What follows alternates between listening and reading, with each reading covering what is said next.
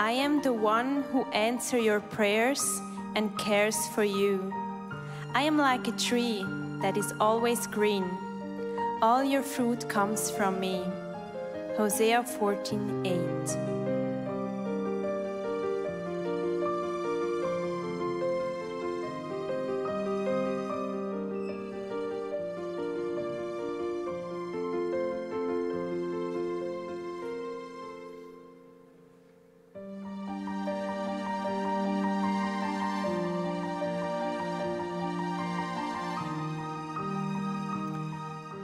Yeah, we all are on a journey. It starts with our birth, it ends with our death. And along the way, there's many things that changes all the time. There's so many varieties in life. There's so many things happening. It's not just that we get older and see things differently. It's also that circumstances change. And in this very season that we're in, we all realize we are not in control of what's happening. We're on a journey and we're part of what's happening. The landscapes around us are changing. And there's really big contrasts. One day can be this way, and the other way, everything can be changed. I want to talk to you here, we as a team. What kind of contrasts do you find in your life that really change? Well, seven months ago, we received our daughter, and she turned my life yeah. upside down. That's what they do, right? right. There are some days they are amazing. Yeah. And I love the sun, the city, and there are some days they're really heavy and challenging because she don't want to go to bed, she's crying, and that's really tough. That's why you look a bit exhausted on this picture here. but still good. You still look good. What about you, Timon? What is the contrast in your life? And when Jesus came into my life, I had to leave like all my friends behind because we didn't have any common interests anymore. And then uh, it was like half a year and I had no social surrounding. But then I came into church and I met a lot of new, so good friends. Yeah, great. People come and people go. Yeah, and there are also times to celebrate. I think of my marriage, yeah. where we celebrate the love of us or you can celebrate birthday parties. But there are also times in life where um, we're heavier, maybe when someone you love passes away. Yeah, it's true. Yeah, I'm a, a, real team player. I love to work with my team and yeah, like get to new ideas together. And now it's completely different. It's home office. I'm all by myself, and that's completely different feeling. Yeah, things change so hardly in our lives. I mean, home office, I knew about the word. I also did home office once in a while, but now it's only home office. And I love it in a way, but I hate it also because I love people, I love to be around the people. And there, there are words that determine our everyday life now, like isolation, quarantine, distance, social distancing. Those words were really strange to us. And today they're familiar. Things really change. And we have to get used to it along the path of our way. So, so many contrasts are happening. Many things go on and are different the next day. But there's one thing that's always the same way. One thing remains. We often sing that song. One thing remains. Your love never ends. Never, never fails, it never runs out of me. So it's really God who never changes. He is the constant in our life. He was and is and is to come. And that's what we want to go dive in today in Hosea 14. There's a whole chapter about this awesome God that is the same God. And He is present always and everywhere. That's the title I set for this part. In Hosea 14, verse 8, it says, I am the one who answers your prayers and cares for you. I am like a tree that is always green. All your fruit comes from me. So, whatever's going on in your life right now, situations changing, maybe you're desperate with what ha- what's happening in the circumstances we're in, we have a God who is always there for us. He cares for you, and He listens to you, and He even answers when you pray. That is so awesome. So today, when we talk about hearing God's voice, it's about being in a conversation, it's about trusting a God who is near and who is there all the time. He remains the same all the time. And this is what the verse is talking about like a huge green tree, about a God who is answering the phone when we call him. So you can find a place with God where you can pour out your heart and even get the answers you need because He is so generous with us. He hears what is going on in our lives. And then, what the verse also says there is fruit for you, more than enough, because everything you need, you, need, you will get it with God. So, what, what, is, what is the real picture here? We have a God who answers. Maybe you're frustrated. Then find a place with God and talk to Him and say, God, you know, there's Corona happening down here. Did you ever, have you ever heard about Corona? No? Okay. You've never heard about it? Oh, yeah, it wasn't born in your house, right?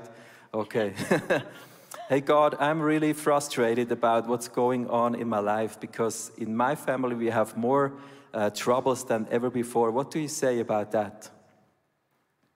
You're the peacemaker. All right. And you want to live in me. Okay. You want to make me a peacemaker. Wow. That's challenging. But thank you, God. God, you see my isolation. I don't like home office. What do you say about home office? Oh, it's your everyday life, okay. Oh, I thought you were down here as well. Oh, you're everywhere, okay. Yeah, so you want to give me community. You give me ideas how I connect with my friends. Thank you, God. And you realize whatever is happening in your life, there might be home office, but it might be much more serious stuff going on. You have a God, you can talk to Him, and He will answer you. That is our awesome God. And you can sit in His shadow. He's like a huge green tree, and He gives you fruit. So every word coming out of God's mouth is like a refreshing fruit. Mm. And I can sit in His presence. His word is feeding me. Whatever truth comes in my life comes from the Lord, and I'm refreshed. There's everything I need. So, what is the problem that we sometimes don't hear God's voice? Everything is installed, there's God, He's like a tree, there's fruit. The problem is sometimes, even before we swallow the Word of God, we start looking around and we see, oh, wow, there's some other fruit hanging low there. Maybe that will help me more than God. I'm sometimes in a hurry because I think if I work more, then I will be more successful. So I lift up my ass from the presence of God. I walk to the fruit that is attracting me, which is actually just seducing me to leave the presence of God. Or maybe I think, wow, a little sip of wine would help me. Maybe also would help me, you know. Just a cup of wine, you know, everything is more easy in the evening, just an aperitif. And you think about it and you start to pick fruit that is not really going to help you. It is bringing you away from God's presence. Miri and Timon, what is your fruit that is drawing you away from God? Let's be honest. Let's be brutal honest. um, when I have like little breaks during my day, 5, 10, or 30 minutes, I often pick up my phone and God just yeah, showed me that I, I, am looking for rest and peace in the completely wrong thing. And in the end, I, I just get no way, I have less energy than before. And for me, sometimes I think I'm too busy to take time with God. And I yeah. put pro uh, wrong priorities. I think I have to first clean my apartment, mm. uh, make a text message, or call a friend, or read the news, or go to the groceries. And after that, I take time with God. All right. I'm sure you know these fruit, that fruit that is drawing you away from God. And what's happening, we start looking around for fruit and we start moving away from God. And in one place, we just get lost. And we remember a story where people were lost as well.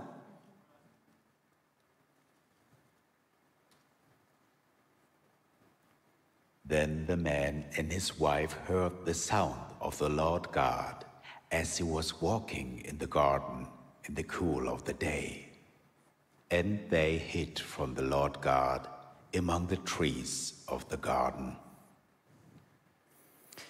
You know, there's situations happening, hello, I'm here, where we get lost through the fruit that is drawing us away from God. And we still maybe hear Him, and one day we start that we don't even hear Him anymore. And it's because we hide from God, because we get attracted from fruit that is not really helping us. In Hosea, it says the following thing, the following thing come back to God. Take words with you and return to the Lord. Say to him, Forgive all our sins and receive us graciously that we may offer the fruit of our lips. Assyria cannot save us, and I want to tell you more about Assyria later. We will not mount war horses. We will never again say, Our gods, to what our own hands have made, for in you the fatherless find compassion. The Hosea text here tells us to return to the Lord. I'm sure so many people got attracted from wrong fruit in the crisis we're in, the situations we're in, and it's the place where we go, have to go back, is the place with the Lord. Assyria in this text means I don't rely on people's opinion in my life. That can be a bad fruit for you if you rely on people's opinion. God told the people of Israel, don't listen to what people say. The war horses can be the horsepower in your life. You think you can do it by yourself. And I tell God, I want to put it down. I don't rely anymore on my own strength. And the third one is that we, uh, we worship the work of our own hands instead of worshiping God's, our God. So today we want to get practical. Everyone in here, we have bad fruit in our life. Miri and Timon, please join me. And we're going to do a prayer. Every single one of us, we're going to do it first so you know how to do it. We want to lay down the fruit in the presence of God. And I say, Father, I'm returning back to you. I'm coming back to you right now. And I lay down the bad fruit that I sometimes worship the work of my hands because I think I can do it by myself. Please forgive me, Lord. Yeah, Father, I'm so sorry that I was looking for peace and rest at the wrong places. Thank you for your forgiveness. Yeah. God, I come back to you and I'm so sorry for being so busy and set wrong priorities. So it's your turn right now. Let's take a moment with God Think about your life. What fruit is in your hand, in your hand that doesn't belong there? And just lay it down. You can pray for yourself, and I will finish with a small prayer because it's just a matter of heart, not of words.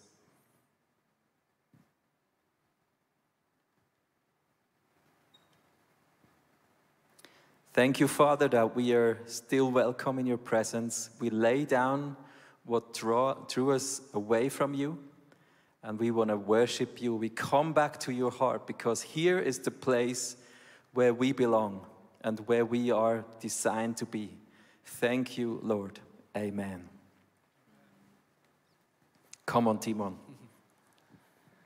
Hey, isn't that beautiful that we just can give away these bad fruit that wants to hinder us to go to this beautiful spot in the presence of our God? And the most beautiful thing about it is it's not just like we want to do it. That's deep in God's heart. He wants the way free. He wants us to do that. And we read that also in Hosea 14, uh, in verse 4, there it says, The Lord says, Then I will heal you of your faithlessness. My love will know no bounds, for my anger will be gone forever. Hey, God doesn't want to be angry. He doesn't want to be he doesn't want anything to be in the way here. He wants to love us, He wants to forgive us, and He wants us to be in this spot where nothing is in the way, where we can enjoy His communion, where we can hear His voice loud and clear. And He showed that so impressive, like 2,000 years ago when Jesus came. He died for all the bad fruit. He died that nothing will stand in the way. And the only human being ever who hadn't had any bad fruit, any sin in his life, took the cross for you and me and was punished instead of us so that we can live our life from this position. And the first time in history, God's voice wasn't only available for prophets and kings, but for everyone, for you and me. How awesome is that? And then maybe you ask yourself, yeah, but why am I not hearing God? Uh, or why is it so hard sometimes? And I think one mistake we, we often make, and it's, it's, yeah, it's so fast that we are in this, is we are looking more for the voice of God than for God Himself.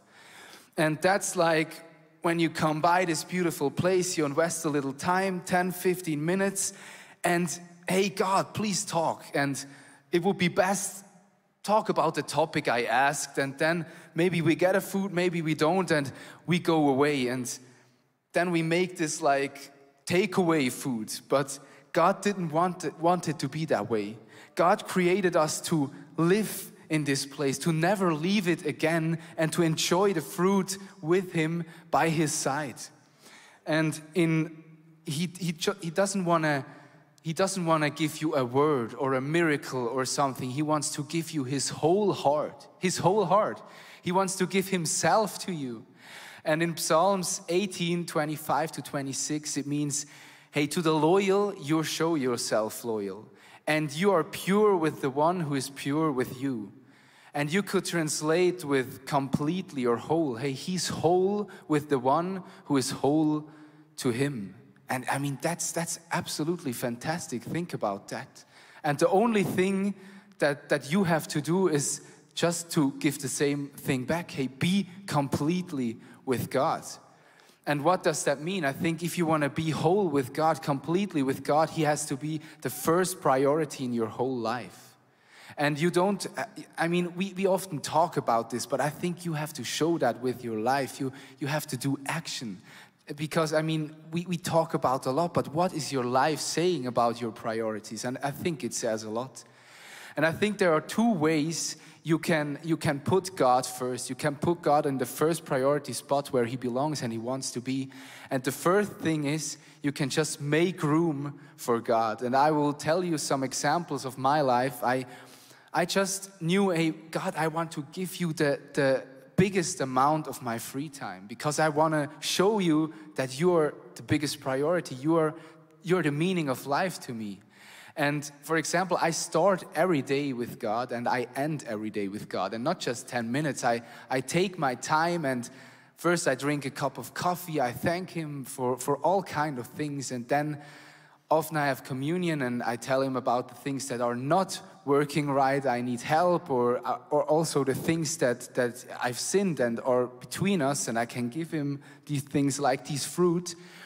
And then I take like 20 minutes or something and be just quiet and I listen what he wants to tell me. And most of the time I don't have any questions because what God wants you to say is oftentimes so much better than the thing we want and we expect. And He knows so much better what we really need than than we do.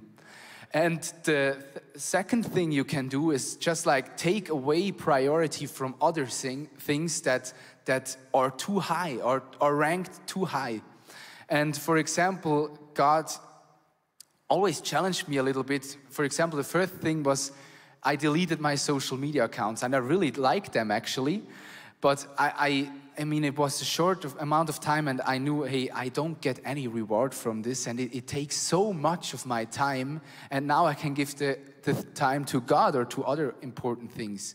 Or another, another one was, I did a lot of sports, and God told me, hey, Timon, it was, I mean, sports is a good thing, but don't you think it's a little bit unhealthy how much you're doing? And I was like, yeah, I mean, that's true. Sports is an amazing thing, but maybe it's just like a little bit too hard, a little bit too much. So I, I restarted and I, I uh, God showed me a healthy way to do sports. And he doesn't want to, to take away things from you. He just wants you to be in this spot, to live in this spot, and he just wants to take away the things that could, could take away you from this spot. And I mean, maybe this sounds a little bit radical, but it's not like you have to turn your whole life around in, on one day. It starts with one decision. You say, Hey, God, I want you to be the first priority in my life. And then he's not like, yeah, do this, this, this, this, and this. Hey, he will show you one thing after another, one thing after another, and you will see how beautiful life is from this spot, how beautiful his voice is. And when God is the first priority in your life, you will soon find out that God absolutely loves to talk in every kind of ways. And how this can look in your life will tell us Miri. Thank you. Yes, I want to go back and jump again in Hosea 49 because I so much love this verse. We can read there in uh, 9, Hosea 49, that he will answer when you ask. Wow, he will answer when you ask. That's so crazy. The God of the universe who made you and I will answer when you're asking. And he don't say this just to the Israelites. He will say this to you and me tonight. But how about you? Can you hear the answer for God? Or is it difficult for you?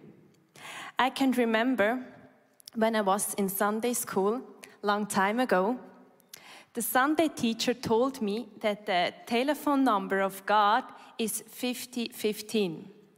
Unfortunately, God never picked up the phone. As a child, you believe everything, but now I know she was thinking about Psalm 50:15. And there it says, "Call on me in times of trouble, I will deliver you." We can call God in times of trouble, and He will answer you. But how is it looks like? Can you hear the voice of God? I think the most people don't hear the voice of God loudly, but that's no problem. God can talk through the Holy Spirit in so many different ways to you. He can talk through the Bible to you. He can talk through family, friends, small group. He can talk to the church through you, worship through the pastor. So many ways he can use to talk to you. How about you, Michi and Timon? How can you hear the voice of God?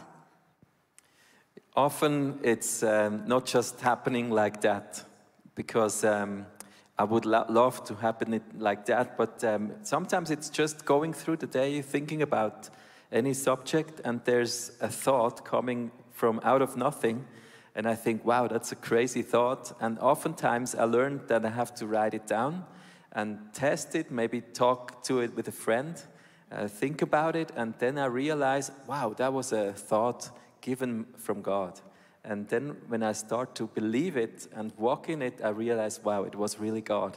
And I'm still training on that, but it's often a thought, and it helps me to talk with friends. I, I often hear God with friends.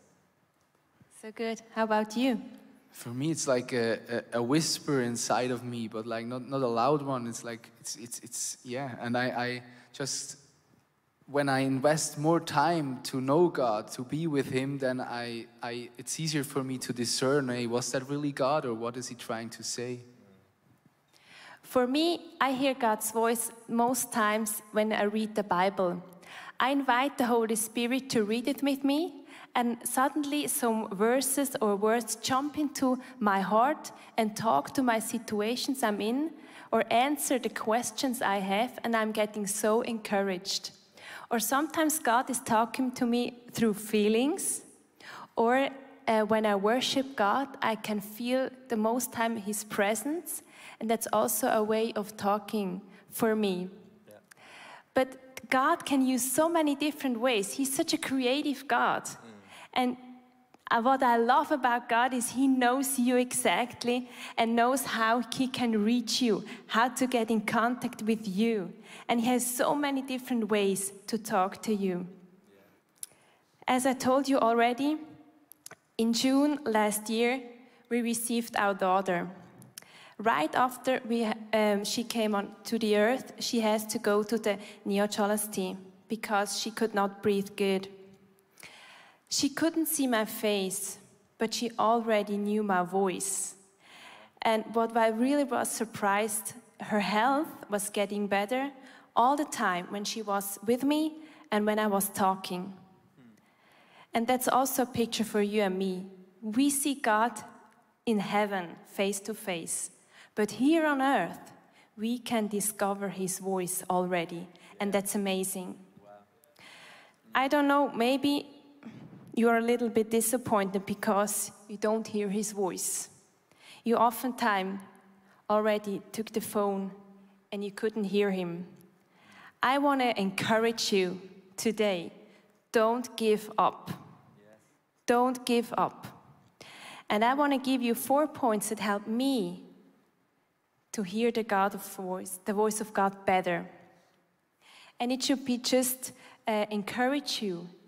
And um, the first thing is I'm getting silent. And that's really hard for me because I love to talk. just be silent because I think God is sometimes whispering to us. There are so many noises around us, like Timon already told you. Just be quiet and listen. Sometimes I can hear something, and that's for me like I become a fruit, and sometimes I cannot hear him, but that's okay too. The second thing I pray is that I'm getting sensitive about God's voice. A few years ago, I worked with a friend and she was highly sensitive.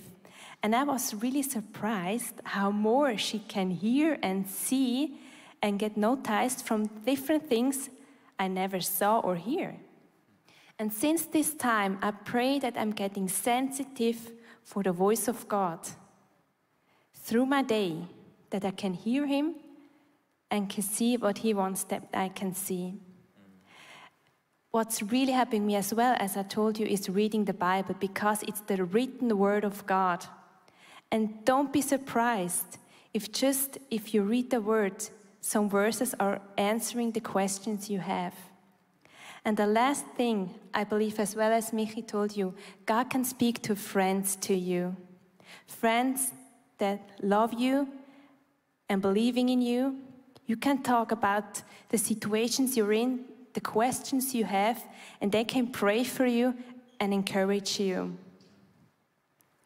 We want to now go into a video from Aliyah. She's the daughter from Dave, and she will tell us how she heard God.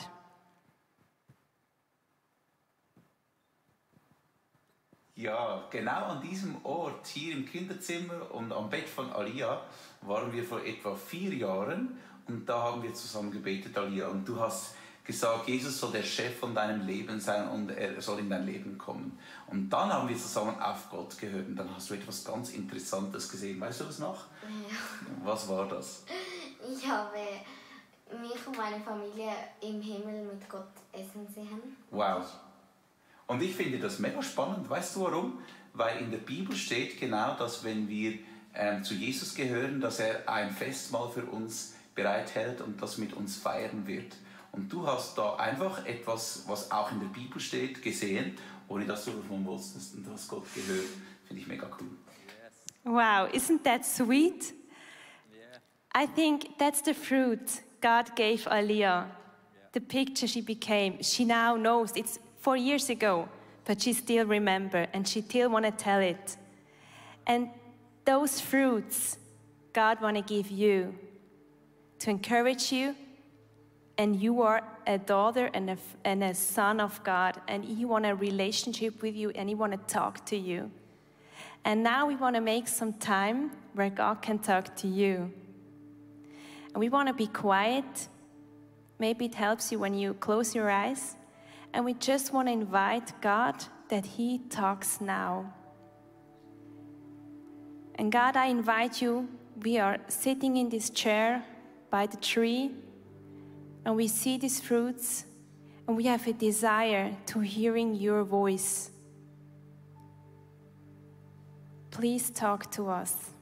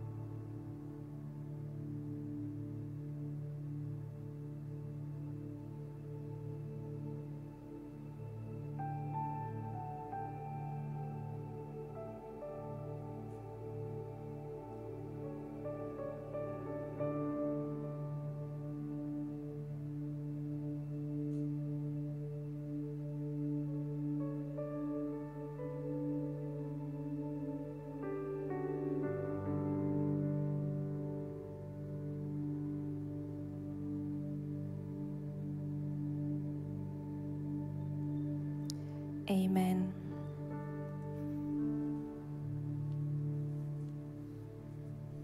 Thank you, Miri. Wow, maybe it was just too short for you. The Sunday still has some hours and the week even more. So take time, take time in the presence of God. Be there, listen to His voice, start exercising it because it's really worth it. We want to end up with another thought that is also in Hosea 14. And I really believe Hosea 14, this whole chapter is a word in season from God for us as a church, but also for the whole world. It calls us to repent, to come back in His presence, to hear His voice, to talk to Him, to get the fruit that really makes us powerful, gives us the food we need. And then Hosea 14 also talks about the reality that when we are in the presence of God, we are going to be, as a whole people, like a huge olive tree. You read that in Hosea 7 and 8. He says, My people will be, will be like a huge olive tree, and its arms, its branches will spread out really far. And the smell will be like the cedar of Lebanon. It will, it will spread a smell that everybody is going to breathe in and they will smell it like, wow. Wow, how amazing.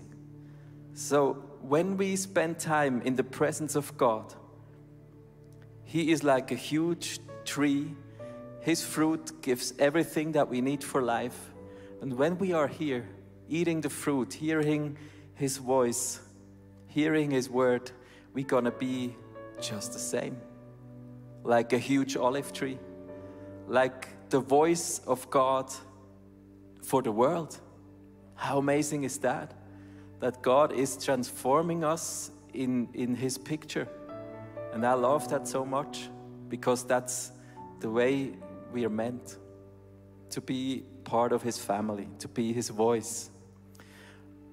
A lady from our church, Lydia, she is living that out in a very simple way, and she will tell you in a short clip what she is doing.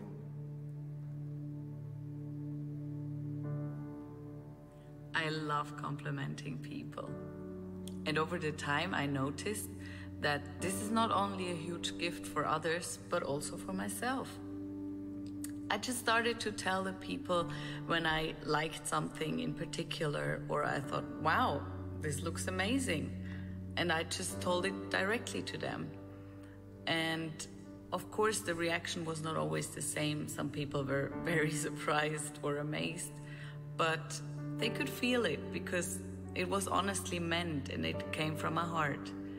For example, I was able to tell a retired person in our company what a huge gap she would leave with her nature. And this resulted in a beautiful relationship, which now I benefit myself from. And this is just an example for me that God blesses those who bless others. And it's just so inspiring to carry on His love. And it amazes me every time. It's just complimenting people. What about sitting in God's presence? Start to talk with Him about your friends. You see the troubles people are in, in your family, at your workplace, and you say, God, please talk to me. You see the situation, give me a word, give me a fruit that I can pass on. And that's exactly what we're going to do right now. We're going to get practical as well. You will see a QR code up on the screen, and if you go there by your smartphone, please pick it out. And, um, and you can download a picture, and it's a picture of the tree that you see behind me. It's also the verse on there of Hosea 8 9. And you can send it to a person right now. Maybe you know about someone who really needs a word of God, who need, really needs encouragement. Maybe people who don't even know Jesus. And we want to end this message by being the word of God, being his voice to some people around us. And I give you just a few seconds to download the picture and send it with a few encouraging words. Maybe you don't use the picture, just your own words, a compliment. Let's be his voice for our friends right now, for those who are in here in the other rooms and also listening online. just do it right now. Be His voice.